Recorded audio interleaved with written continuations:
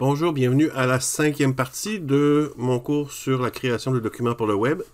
Et euh, dans cette partie, on va voir les éléments sémantiques, aussi appelés des éléments structuraux, les éléments de structure. Donc ces éléments-là, c'est des nouveaux éléments qui n'existaient pas avant, qui sont nouveaux avec le HTML5. Euh, mais il faut, comprendre que le HTML5 date quand même de plusieurs années. Euh, qui a amené une manière complètement différente de euh, structurer une page web. Donc, euh, qu'est-ce que c'est que des éléments sémantiques? Donc, les éléments sémantiques, c'est des éléments qui, euh, disent au navigateur c'est quoi le contenu de chacun des éléments. Donc, ils vont, ça va dire ceci est l'entête, ceci est le menu, ceci est le contenu principal.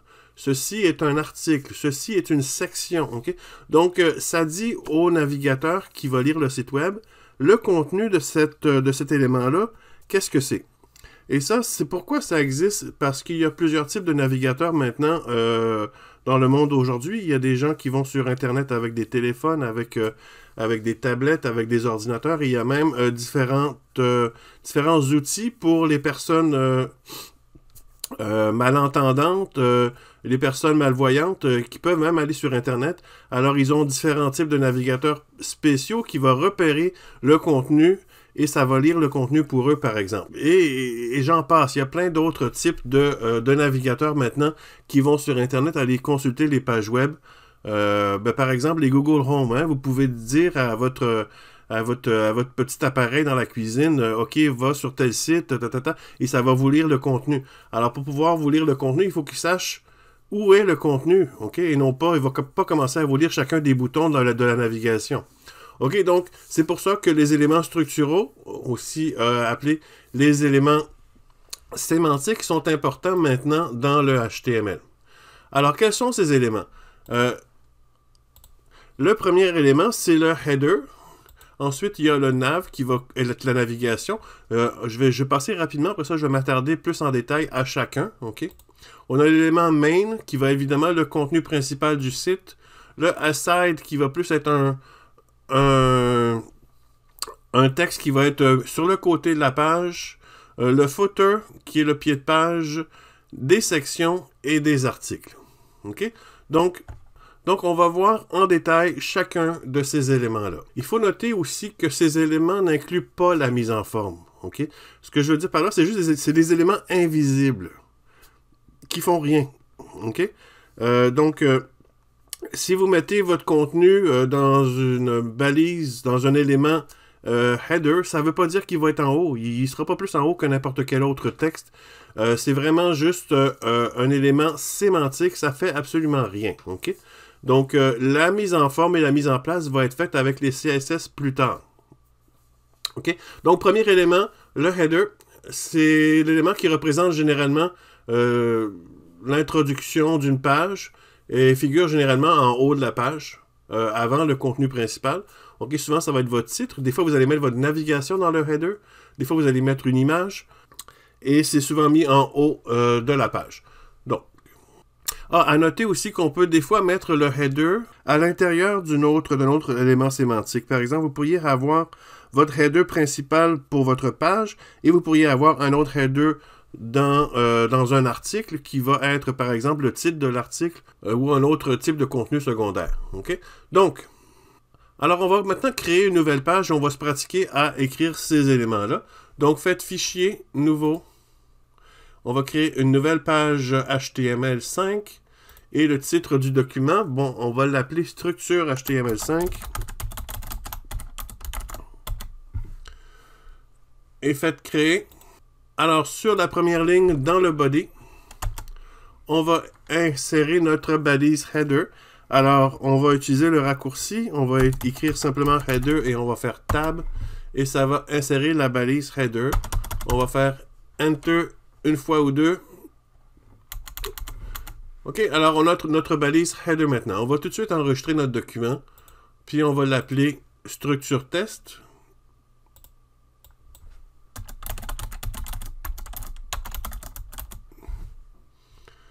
Enregistrer.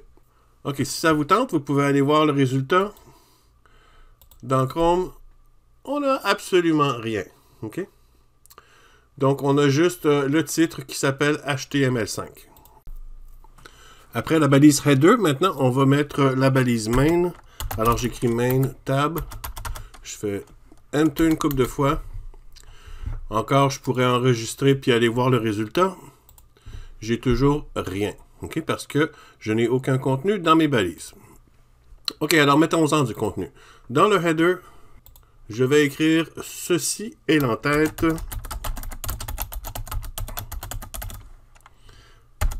Et dans mon main, je vais écrire ceci est mon contenu principal. On va aller voir le résultat. Alors maintenant, j'ai simplement deux lignes. Ceci est l'entête et ceci est mon contenu principal. Euh, ça fait aucune différence. C'est identique à euh, ce que j'aurais obtenu si j'avais simplement écrit ceci est l'entête dans un div bien ordinaire et ceci est mon contenu principal. Le fait d'avoir mis en tête header et main, ça ne change rien par rapport à l'affichage. OK. Après mon main, on continue. Après mon main, on va mettre un footer.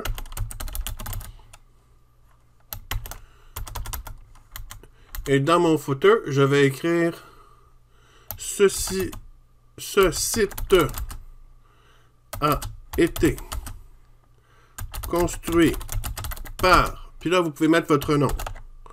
Moi, je vais mettre le mien. On va aller voir le résultat. Alors, j'ai simplement trois lignes. L'élément section sert à diviser une page en différentes parties. Euh, il n'est pas nécessaire d'insérer des sections si la page ne justifie pas. Un exemple d'utilisation, ça serait par exemple une page qui contient à la fois euh, l'information sur la compagnie, les heures d'ouverture et une carte. on pourrait placer ces trois éléments-là dans des sections séparées sur la page. Donc, on va inscrire euh, dans la balise main, on va insérer deux sections en dessous de ceci le contenu principal. Donc, euh, après ceci le contenu principal, je vais insérer une nouvelle balise qui va être une section. Et dans la section, je vais écrire euh, ceci est la section 1. Je vais l'indenter un petit peu. Attends, je veux juste faire un peu des indentations ici aussi. Et après ma section 1, je vais insérer une deuxième section dans laquelle je vais écrire ceci est la section 2. OK? Alors maintenant, j'ai mon main dans lequel est contenu deux sections. Petite parenthèse relativement à main, c'est pas nécessaire non plus d'avoir euh, une balise main. Il y a beaucoup de sites qui l'utilisent pas, qui vont simplement avoir un header, des sections, des articles et un footer avec la navigation, etc. Donc main, c'est facultatif, mais c'est peut-être un peu conseillé, mais ça dépend comment vous voulez construire votre page web. Mais c'est pas absolument nécessaire d'avoir une balise main. C'est ça. Un article, c'est un contenu indépendant du reste du document. Il devrait pouvoir être lu hors contexte sans le reste de la page. Donc, ce que vous mettez dans un article, dites-vous que c'est quelque chose qui pourrait être complètement à part sur une page. Vous pourriez l'imprimer juste ça, puis ça serait son propre contenu. Euh, c'est le but d'un article, c'est d'être indépendant, c'est-à-dire que il peut être pris à part et ça va encore faire du sens si vous lisez sans lire le restant du, euh, le restant du site. C'est ce qu'il faut comprendre de c'est quoi un article. Un exemple d'article, ça pourrait être, mettons, euh, une publication dans un blog, euh, ou un article dans un journal, une annonce classée, une recette, etc. Donc ça, ça pourrait être, mettons, des exemples d'articles.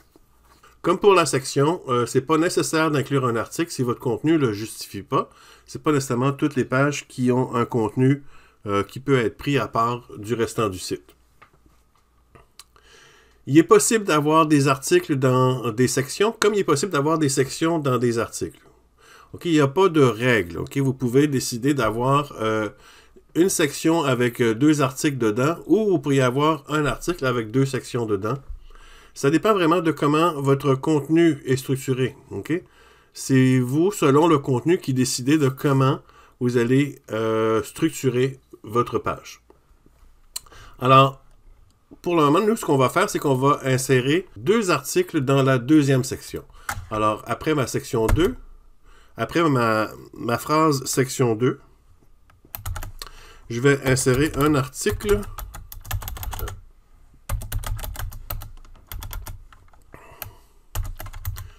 Et dans mon article, je vais écrire ceci est l'article 1.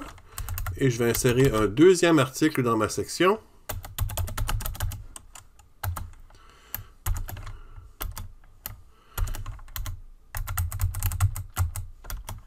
Dans lequel je vais écrire ceci est l'article 2. Une autre balise de structure, c'est la navigation à peu près tous les sites, vous avez des boutons pour permettre de changer d'une page à l'autre. Donc, euh, pour les boutons de navigation, on s'entend qu'on met ça dans la balise nav. À noter qu'il peut y avoir plusieurs euh, sections nav. Par exemple, si vous avez un menu principal, puis en dessous du menu principal, vous avez par exemple un sous-menu qui va se rapporter aux différentes euh, sous-sections de, de, la section sur laquelle vous êtes. Donc, mettons, je clique sur euh, Produits. Je clique sur Produits. Après ça, j'ai des catégories de produits dans un sous-menu. Il peut y avoir deux éléments nav sur une page, il n'y a aucun problème. À noter aussi que les balises nav peuvent se retrouver dans un autre élément comme on peut mettre la balise nav dans le header, on peut mettre la balise nav dans le main, dans un aside, dans un footer, n'importe où, c'est pas grave. OK? Nous, on va le mettre dans l'entête.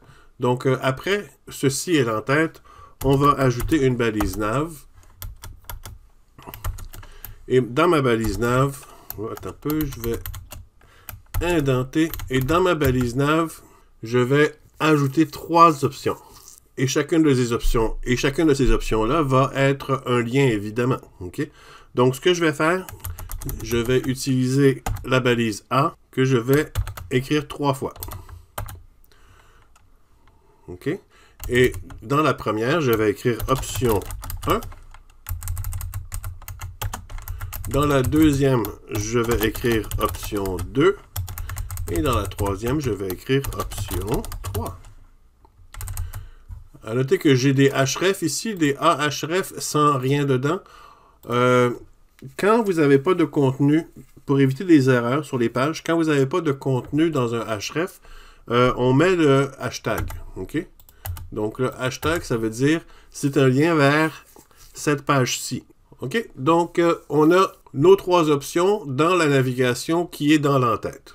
Un autre élément, c'est l'élément aside, qui est prévu pour un contenu qu'on place sur le côté de la page, soit à droite, soit à gauche. Euh, il s'agit généralement d'un contenu complémentaire qui n'est pas absolument nécessaire euh, à la page comme telle. des fois, le aside peut contenir un menu, euh, des fois, le site peut contenir de la publicité, on voit ça souvent.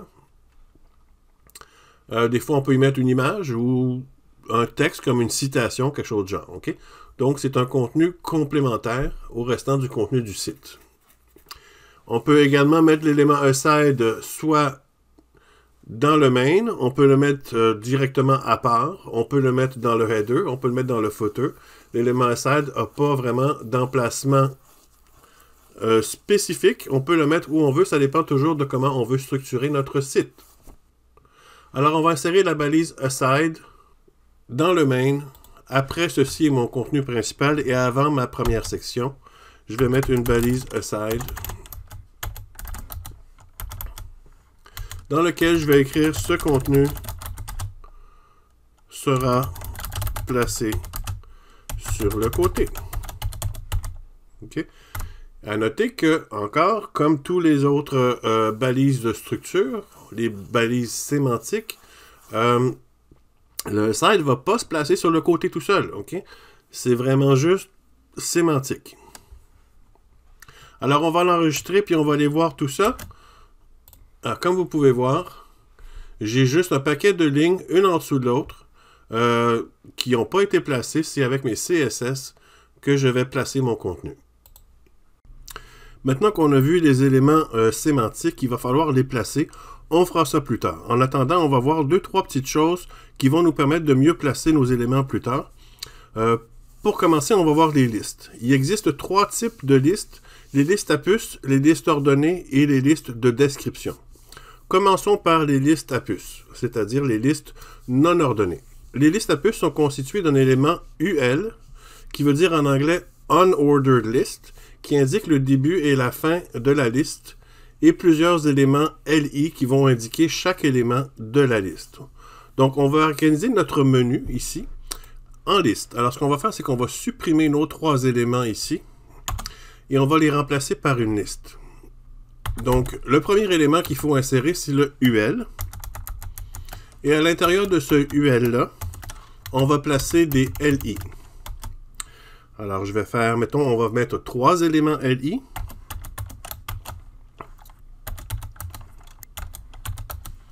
Comme ceci. Et à l'intérieur de, chacun de ces trois éléments-là, je vais mettre mes options. OK? Donc, euh,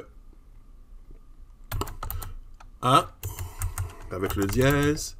Puis je vais écrire option 1. A. Tab, je mets mon dièse comme lien et je mets option 2. Et finalement, je mets A avec un dièse et je vais mettre option 3. OK? Alors là, ce que je viens de faire, c'est une liste à trois items euh, avec mes trois options. Je vais aller observer le résultat.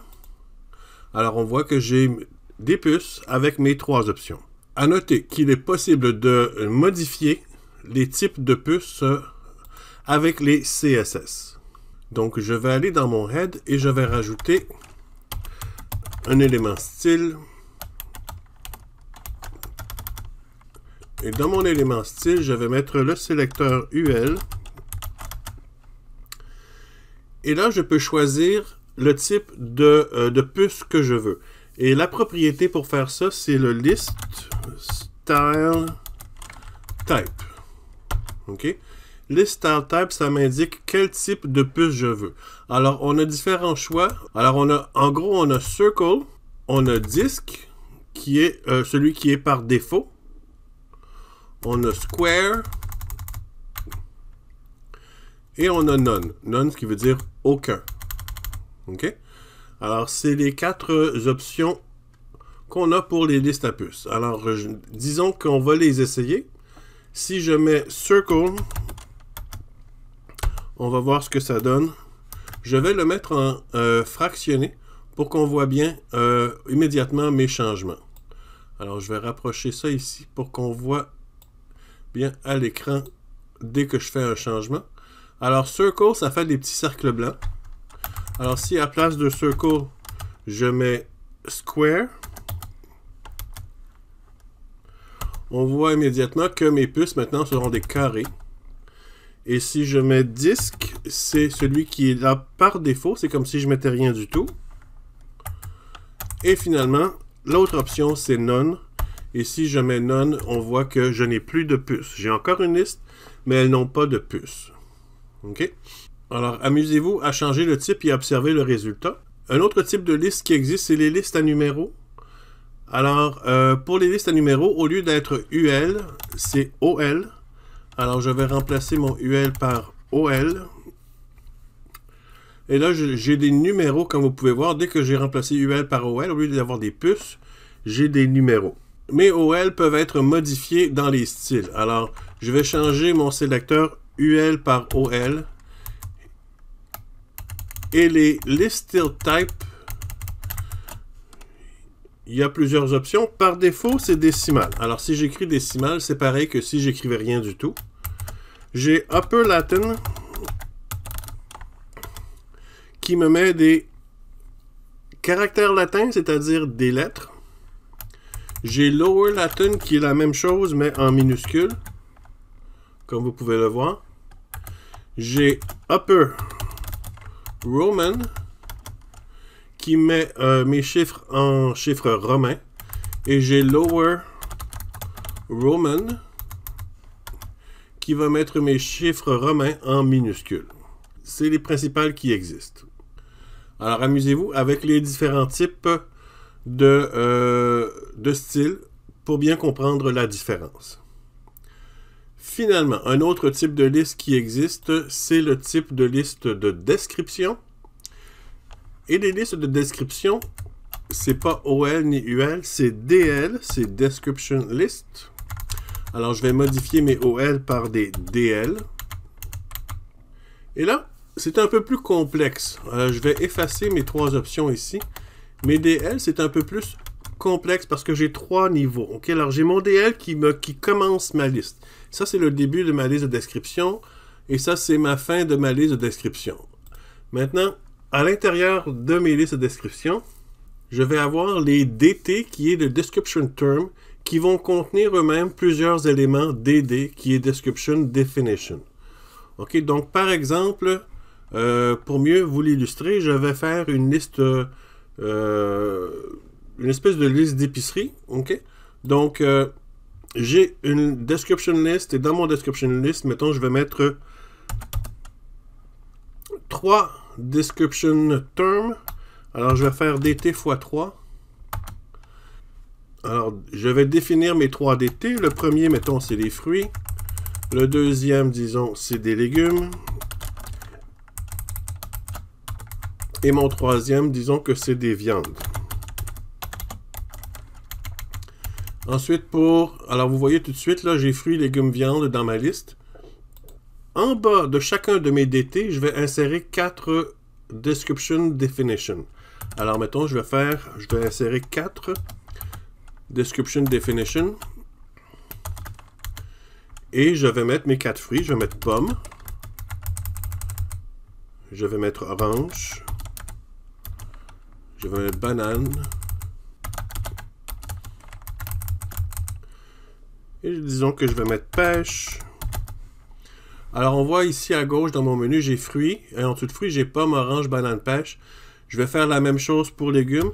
OK?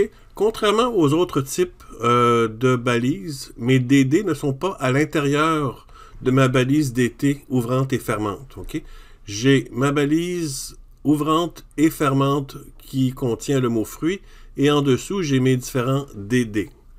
OK? Automatiquement, les DD vont être indentés en dessous de DT, même si il n'est pas, euh, j'ai pas de balise ouvrante et fermante au début et à la fin. Pour les légumes, je vais insérer 4 légumes également, x 4. Je vais faire une petite indentation. Et puis là, je vais mettre laitue, poivron, brocoli et carottes. Et je vais mettre également 4 viandes. Alors, je vais insérer 4 DD. Je vais faire une petite indentation et je vais mettre bœuf, porc, poulet et veau. Et là, si vous regardez ma liste, j'ai fruits avec mes fruits, légumes avec mes légumes et viande avec mes viandes. Ok, donc ça, c'est euh, le type de liste euh, DL qui est Description List. À noter qu'il est possible d'imbriquer les listes, c'est-à-dire de placer une liste dans une liste, euh, tout en mélangeant le type de liste. Par exemple, je vais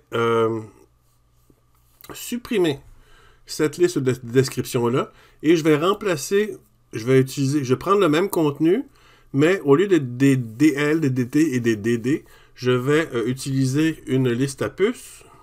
Donc, je vais insérer une liste à puce.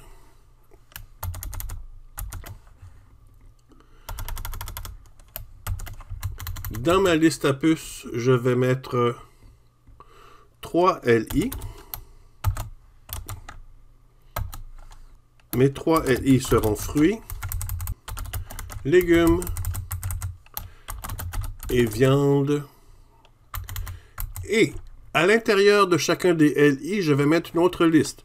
Donc, avant la fermeture de mon LI après fruits ici, je vais me placer après fruits, mais avant la fermeture du LI après fruits, et je vais insérer une liste à numéros. Donc, je vais insérer une OL. Et dans mon OL, je vais insérer 4 LI. Et là, mes 4 LI vont être pomme, orange, banane et pêche. Je vais juste ajuster mon indentation pour qu'on comprenne mieux mon code. OK, alors j'ai mes fruits. Et dans mes fruits, j'ai une autre liste, pomme, orange, pêche euh, et banane. Et euh, mon LI se termine ici. Et je vais faire la même chose pour légumes. OK, donc je vais... Ben, j'ai pas besoin d'insérer tant d'espace que ça. Donc je vais faire mon LI. Je vais augmenter mon indentation. Je vais mettre un OL Dans mon OL, je vais mettre 4 LI.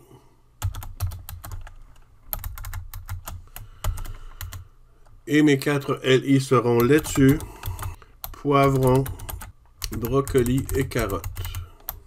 Alors, j'ai mes légumes avec mes, euh, mes différents légumes comme une sous-liste. Je vais faire une autre sous-liste en dessous de viande.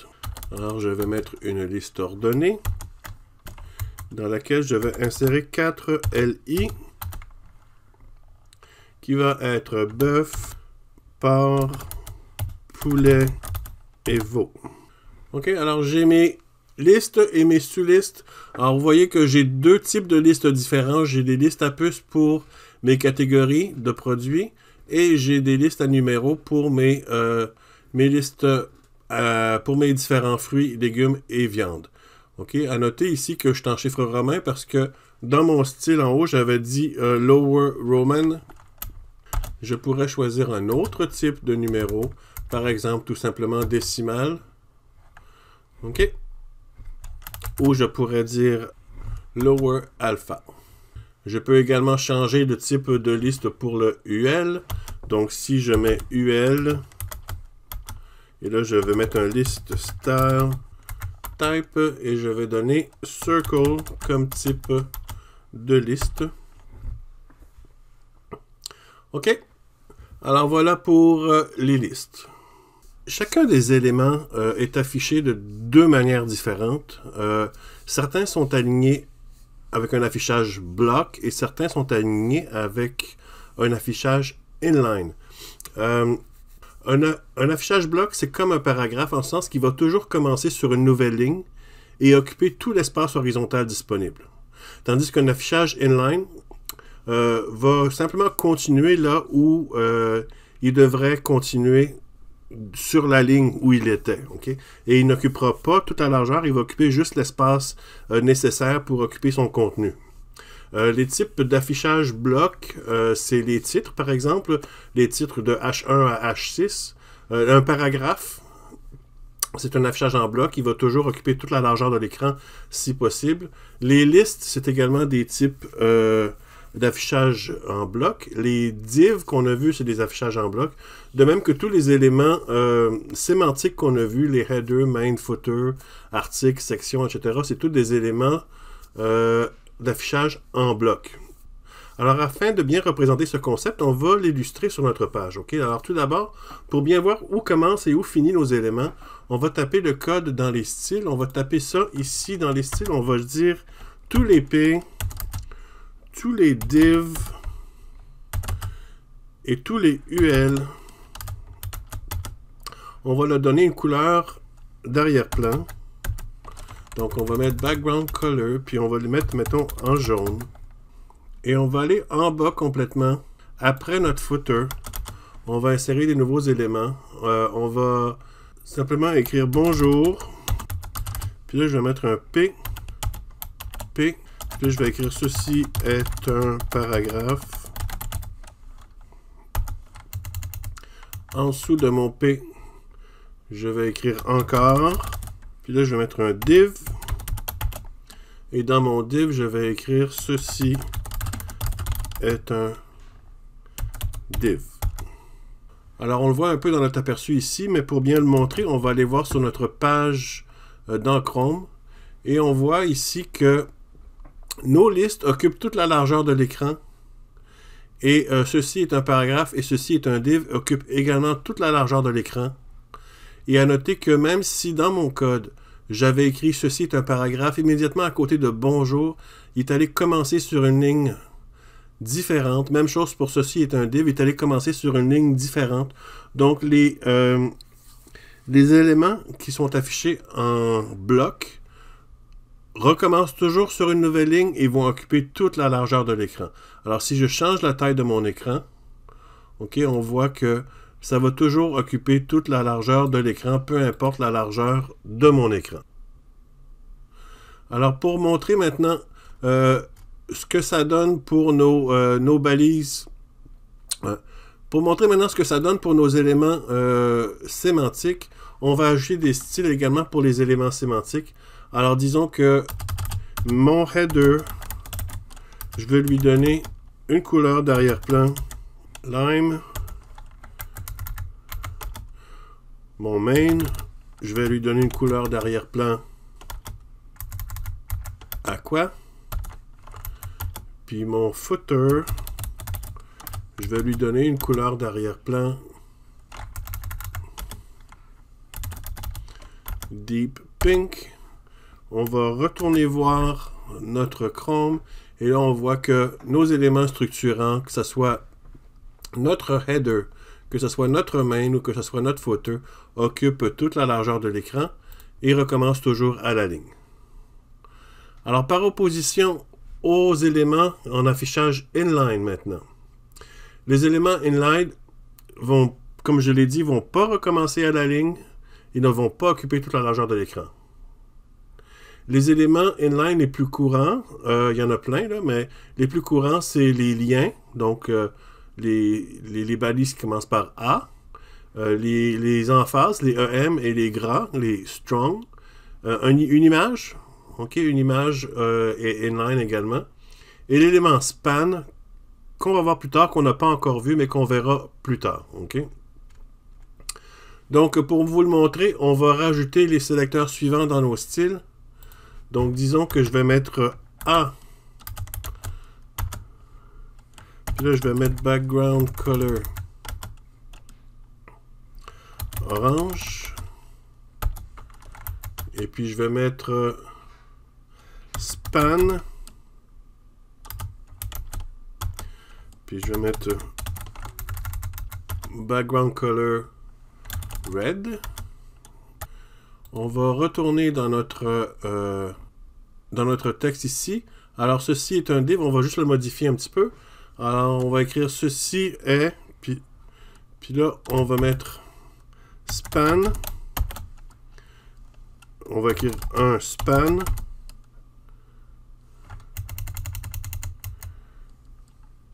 Et ceci est un div. On va mettre un lien pour le mot pomme. Alors, mettons, on va mettre un lien ici. À href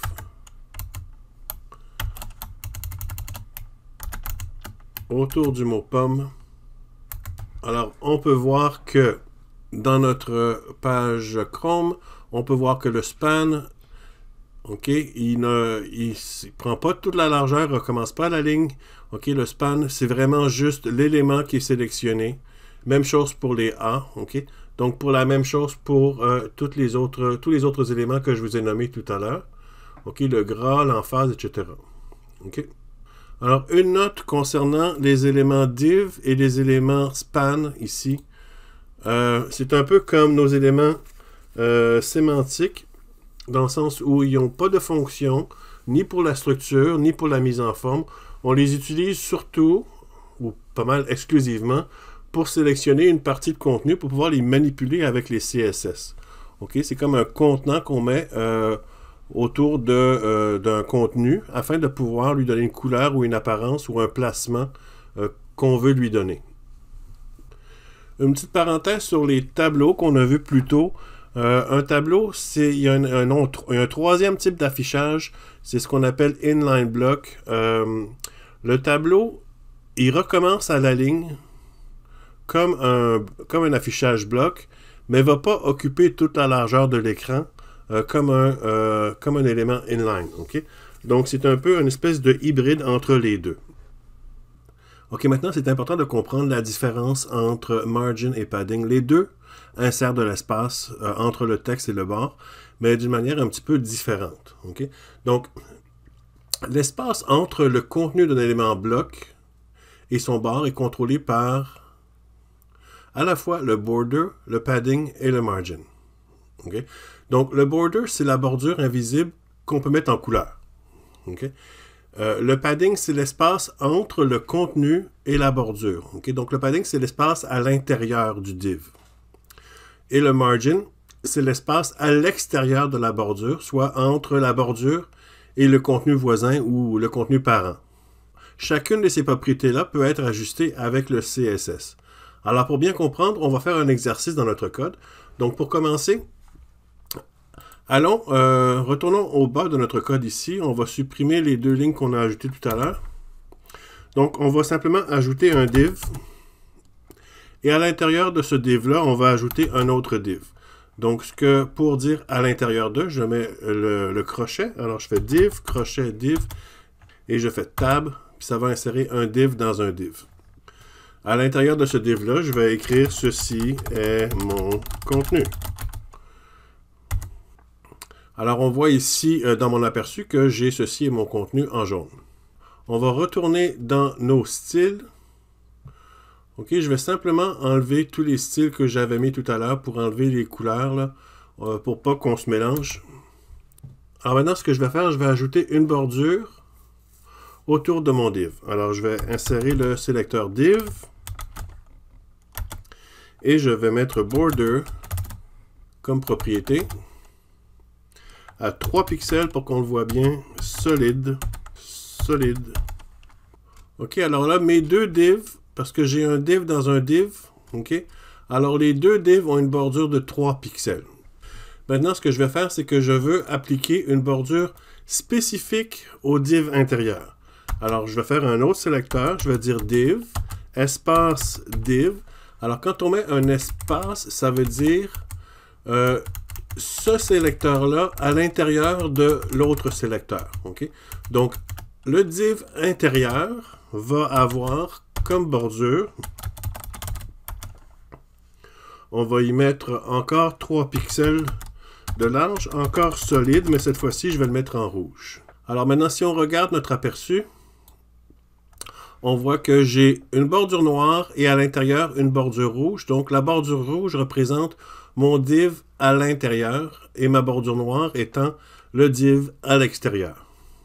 Si je retourne dans mon code, la bordure rouge, c'est ce div-là, et la bordure noire, c'est ce div-là.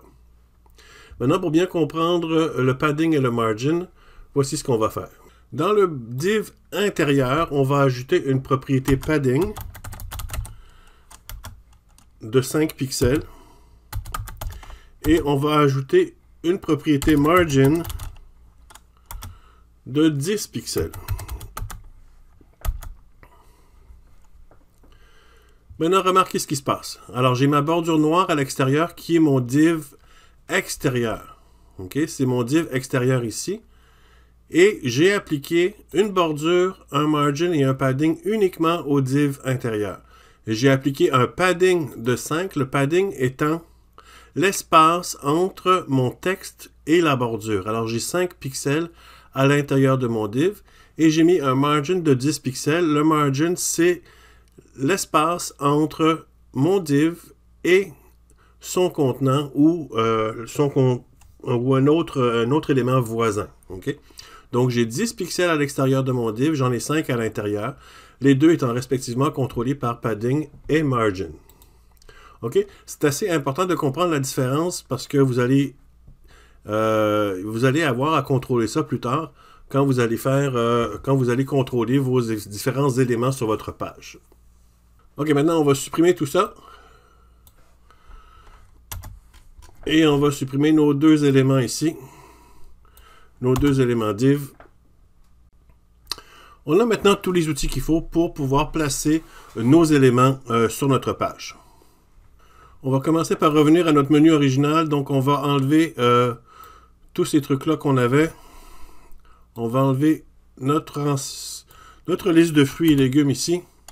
Et on va insérer notre menu. Donc, euh, on veut une liste UL avec euh, quatre options dans mon menu. Et dans chacune de mes options, je veux un lien. OK? Une liste à puces à l'intérieur de laquelle il va y avoir quatre éléments. Et pour, dans chacun des quatre éléments, je veux un lien. Alors, je fais Tab. Alors, on voit ma liste avec mes quatre éléments qui contiennent chacun un lien. Et je vais placer mon indentation comme il faut. Je vais mettre un dièse dans chacun de mes liens. Et je vais écrire option 1, 2 et 3 et 4. Option 1. OK. Je vais enregistrer. Et je vais aller dans Chrome pour vous montrer. Alors, ce que je veux vous montrer, c'est que ma page a déjà une, bordure à l'intérieur ici. On voit qu'il y a un espace entre le texte et le bord de la page, à gauche, en haut. On ne le voit pas, mais également à droite et en bas. Alors disons que je veux supprimer cette marge-là pour pouvoir euh, m'assurer que mes divs ou mes contenants, ce que je mets à l'intérieur de ma page, soit flush sur le bord de la page. Donc je vais aller dans Dreamweaver et pour pouvoir enlever l'espacement entre mon texte et le bord de la page, c'est dans le body qu'il faut que j'aille.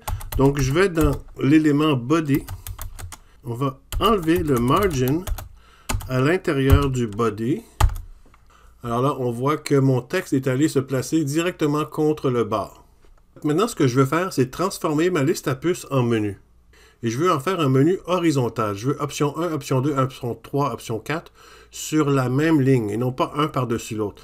Là, présentement, je vais remettre je vais remettre une couleur d'arrière-plan pour qu'on le voit bien. OK, donc euh, mes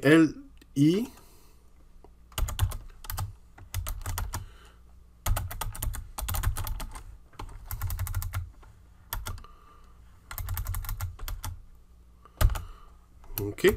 Mais LI, c'est un élément bloc, OK? Donc, il fait toute la largeur de la page. Maintenant, pour pouvoir avoir les options un à côté de l'autre, il faut transformer, il faut changer l'élément LI de bloc à inline. OK? Alors, ça se change assez facilement. Donc, ce que je vais faire, je vais garder ma couleur. Je vais faire display puis là, je vais mettre inline. Alors là, ce que je dis, c'est je veux que chacun de mes éléments LI soit inline et non pas bloc. Alors, on voit maintenant qu'ils sont inline, c'est-à-dire qu'ils n'occupent pas toute la ligne et ne reviennent pas à la ligne d'en dessous. Alors, on va supprimer le texte ceci et l'entête ici pour garder uniquement la navigation dans le header. Alors, on voit maintenant que notre euh, menu, malgré que j'ai enlevé euh, la marge du body, on voit que mon menu n'est pas complètement contre la marge encore. Donc mon menu, il y a encore un espace entre le menu et la marge à gauche et la marge du haut. Ça, c'est à cause de l'élément UL. Alors ce que je vais faire, c'est que je vais... L'élément UL qui est également un élément bloc, je vais en faire un élément inline aussi. Alors là, je vais supprimer ma couleur d'arrière-plan, j'en ai plus besoin et je vais rajouter UL, LI pour que les deux, le UL et le I, soient toutes les deux inline. Alors là, on voit sur ma page que mon, euh, mon menu est allé se placer complètement en haut. Je vais maintenant ajouter une couleur pour que je vois bien mon header. Alors mon header, je vais lui assigner une couleur rouge foncé. Et là, on voit dans l'aperçu ici, j'ai mon header qui est rouge foncé. Alors, ce que je vais faire, c'est que je vais modifier les propriétés du padding. Alors, là, je vais mettre 5 pixels 0, 5 pixels 0. Alors là, qu'est-ce que je viens de faire quand on, a vu que, à date, on a juste vu que je pouvais dire 5 pixels partout? Sauf que je peux contrôler chacun des côtés du padding.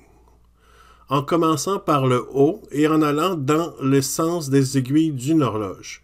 Donc en haut, à droite, en bas, à gauche. Alors en haut 5 pixels, à droite 0, en bas 5 pixels, à gauche 0. Alors là, si je vais voir ce que ça donne, j'ai 5 pixels en haut, 5 pixels en bas et j'en ai aucun pixel à droite ou à gauche. Là, le problème, c'est que j'ai encore un espace. Pour supprimer complètement la marge de gauche, je vais rajouter un padding 0 pour mon UL et mon LI. OK?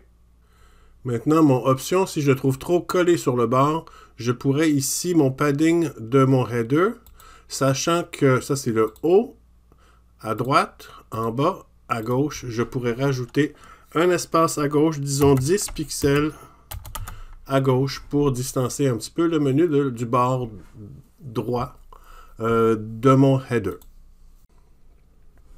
Ok, faisons maintenant la mise en place de l'élément aside et de la première section. Alors disons qu'on veut, qu'on veut que l'élément aside occupe toute la hauteur de l'écran ainsi que la première section qu'elle occupe exactement toute la hauteur de l'écran et l'élément aside qui occupe le tiers de la largeur de l'écran. Ok, donc on va commencer par euh, le aside. Dans les styles, on va ajouter le sélecteur pour aside. Et on va dire, on va lui donner une couleur juste pour qu'on puisse le reconnaître facilement. Alors, background color. Disons qu'on va lui donner comme couleur Saddle Brown qui est un genre de brun. Le texte, on va le mettre en blanc.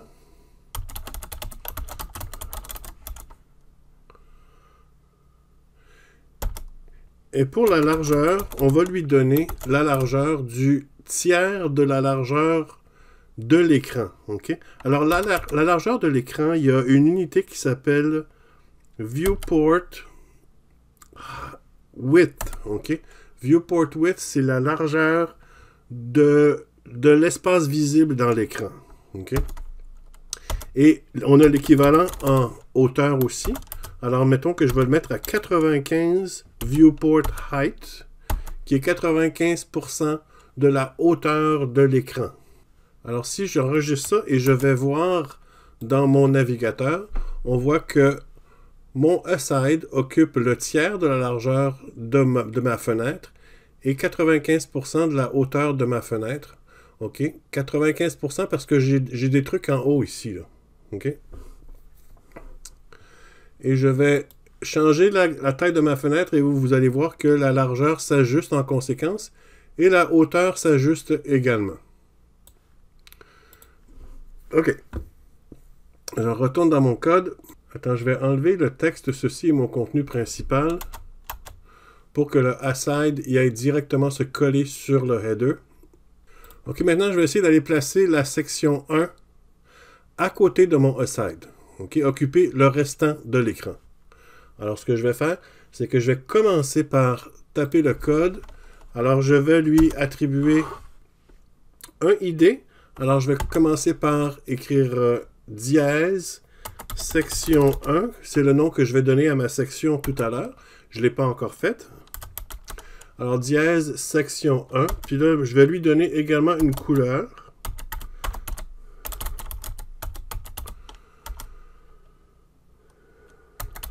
Je vais l'appeler Wood.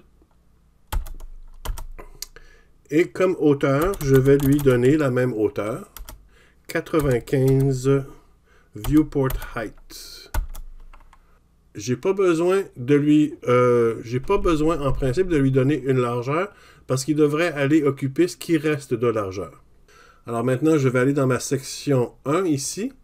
Donc, euh, dans la balise de la première section, je vais ajouter un ID. Et je vais lui attribuer section 1 que j'ai créé ici dans mes styles. Alors, on va aller voir le résultat. Alors, j'ai mon aside qui est sur le côté, mais ma section 1 a fait la bonne, ou a fait la hauteur d'un écran, mais elle n'est pas allée se placer à côté, elle est restée en dessous. Pourquoi? Ben, parce que toutes les deux sont des, euh, ont un affichage bloc et un affichage bloc, par défaut, ça va toujours se placer à la ligne. Mais il existe un truc euh, qui va forcer le aside aller se placer sur le côté et forcer ce qu'il y a comme contenu en dessous à se placer à côté. On l'a déjà vu, c'est le float, puis on choisit un côté. Alors, alors on va appliquer la propriété float au aside. Puis on va dire float left. OK? Et là, vous voyez que mon section 1 est allé se coller à côté. OK? Donc, euh, c'est ça que ça fait. Float, je l'ai mis sur mon aside, je ne l'ai pas mis sur mon section 1. Parce que ce que ça dit, float, ça dit place-toi à gauche et le restant du contenu qu'il y a en dessous de toi va aller se placer à ta droite. Et là, parce que ce qui est en dessous du aside, c'est section 1. Section 1 est allé se placer à côté du aside. On va aller voir ce que ça donne dans Chrome. Effectivement, c'est parfait. J'ai mon aside qui occupe le tiers de l'écran et toute la hauteur et mon section 1 qui occupe tout le restant de la largeur et qui finit à la même place euh, la, après la hauteur de mon écran. Alors maintenant que mon aside est placé et que ma section 1 est placée, disons que je veux que ma section 2, qui contient euh, deux articles, soit placée en dessous et que chaque article soit un par-dessus l'autre. OK? Euh, je vais enlever ici, ceci est la section 2, pour juste garder les deux articles. Alors, on va commencer par définir la couleur de la section 2. Alors, on va aller créer un sélecteur pour la section 2.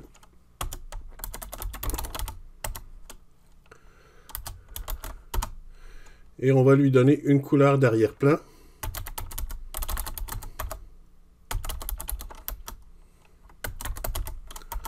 Un autre type de brun qui est Sienna. Et disons que je vais lui donner un petit padding de 10 pixels.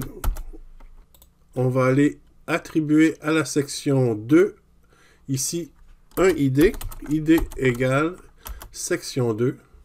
Alors on voit le padding que j'ai donné, ça a fait un peu d'espace euh, alentour de article 1, article 2.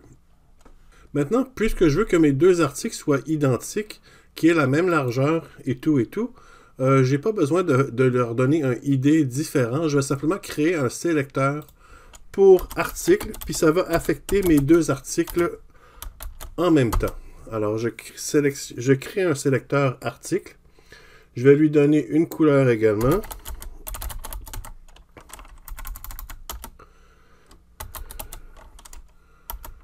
Burleywood, ça va faire la job. Je vais lui donner la largeur de 90% de la largeur de l'écran. Alors, viewport width. Euh, je vais lui donner une marge et un padding. Donc, euh, la marge que je vais lui donner,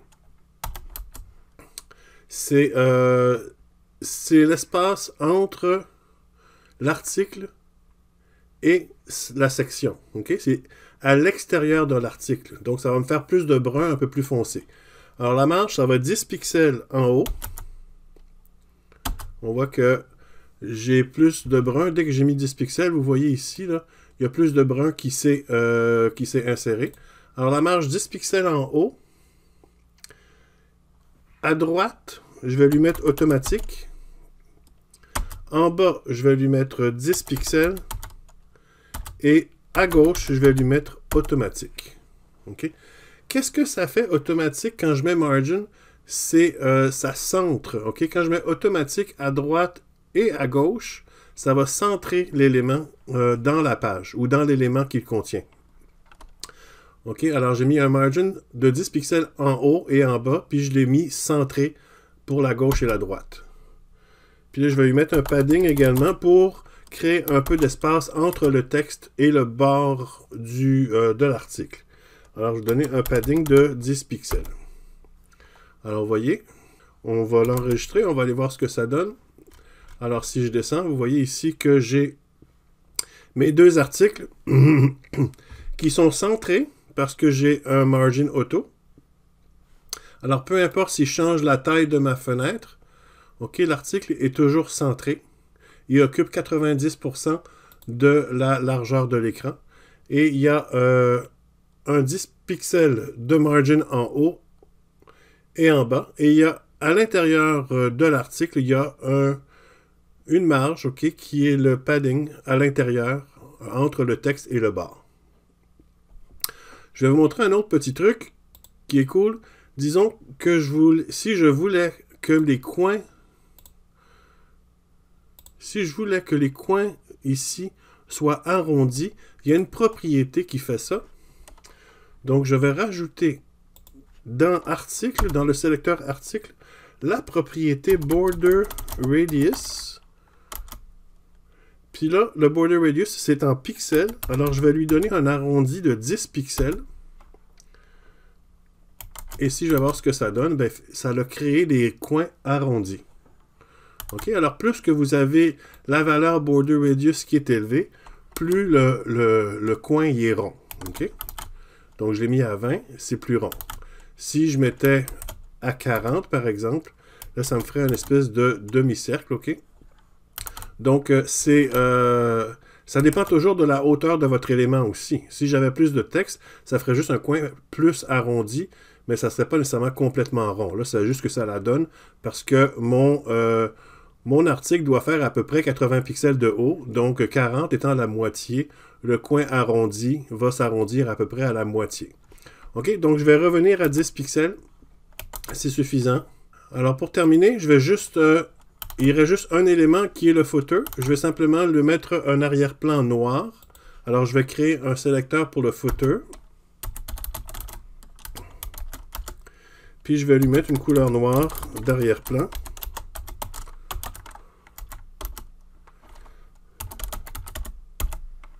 Je vais lui mettre le texte en blanc. Parce que sinon, noir sur noir, on verra rien. Et finalement, je vais lui mettre un petit padding également de 10 pixels pour pas qu'il soit collé complètement contre le bas. Alors voilà.